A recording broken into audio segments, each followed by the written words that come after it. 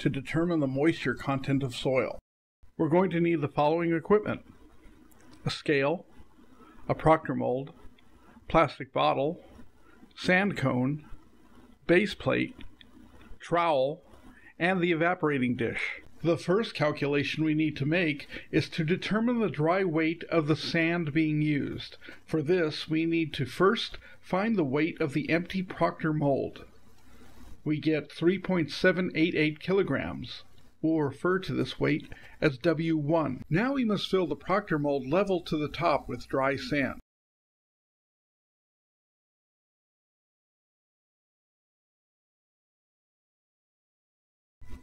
Now we weigh the full proctor mold. We get 5.219 kilograms. We'll refer to this figure as W2. We need to know the volume of the proctor mold.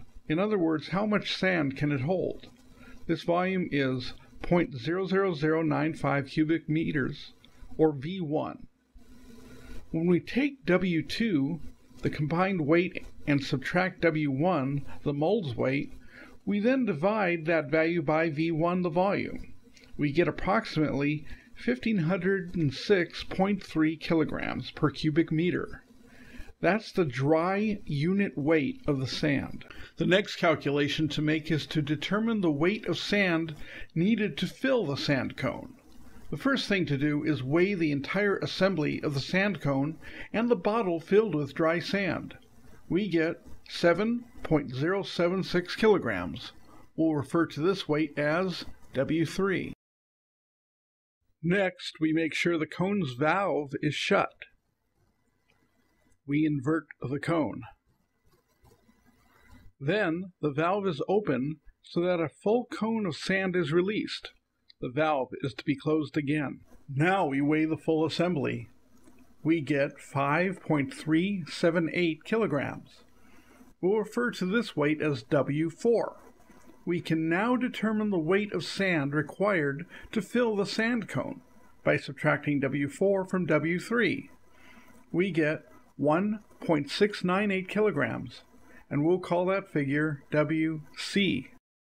Out in the field, we must first secure the base plate to a level area of ground.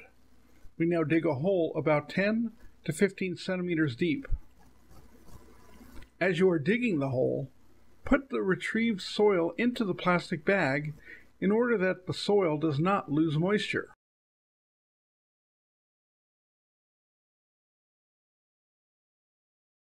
With the valve closed, turn the bottle and cone assembly upside down and place the cone in the center hole of the base plate and open the valve so that sand flows. After flow of sand stops, close the valve and pick the assembly up. The sand in the cone will be poured into the base plate. Back in the lab, we now weigh the complete assembly again. The weight is 3.529 kilograms. This is what we will call W5.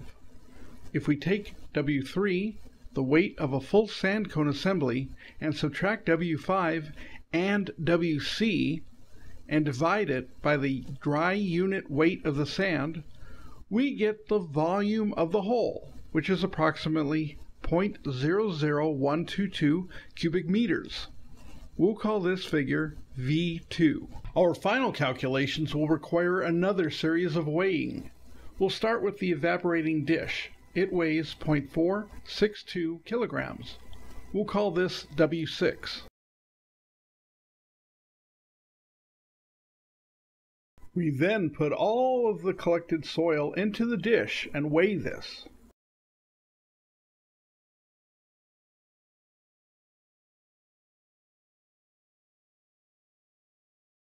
we get 2.723 kilograms. This is W7.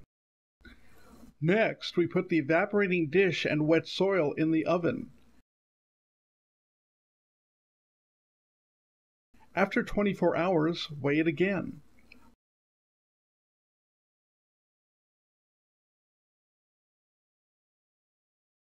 We get 2.621 kilograms. This is W8. Now we have all the data we need. We can calculate the moist unit weight of the soil by subtracting the dry weight W8 from the wet weight W7 and dividing that number by the volume of the hole V2, we get 83.6 kilograms per cubic meter. To calculate the water content, subtract W8 from W7 again. This time divide that by W8 minus W6. We get 4.72%.